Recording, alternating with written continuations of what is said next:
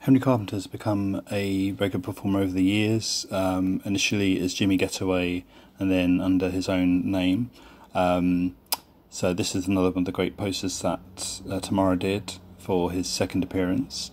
Um, this video is from his first appearance, which uh, was part of a special set that Henry put together with a, the theme of Christmas. Um, and this song is called Noah.